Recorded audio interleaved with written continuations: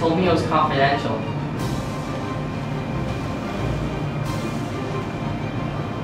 Ah, it's Project Generation.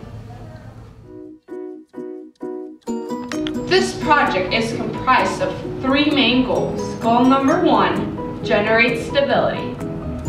Maintain membership levels from last year. Ah, goal number two, generate growth. This goal has three levels.